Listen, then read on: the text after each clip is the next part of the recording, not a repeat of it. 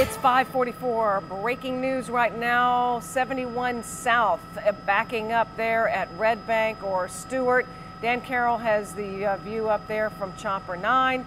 Um, it's uh, it's going to be a mess this morning. It's going to take them a while to get that jackknife tractor trailer out of the way. So all you have is that conversion lane going through. Let's go to Dan for a little more detail on this. Dan?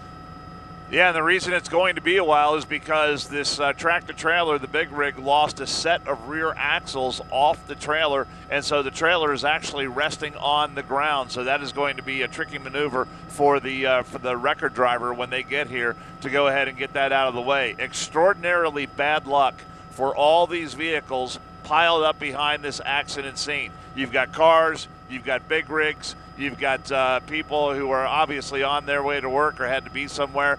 They, there, there is no option for them to turn around right now. They cannot go anywhere. All those people who are stuck, they are just plain stuck with absolutely nowhere to go unless police stop the traffic southbound on 71 and you start seeing these cars back up. We've seen that in other situations, but for now that is not happening. So all the traffic southbound on 71 all being funneled over to the contraflow lane through the construction area and down through the Red Bank or the uh, 71 cutting the hill. Not a huge backup right now, but it's not going to get any better as we go throughout the morning rush hour. And then uh, again, I'd stay away from 71 southbound if I could. Stewart Road to southbound 71, though, is an option for you. I'm Dan Carroll in Chopper 9.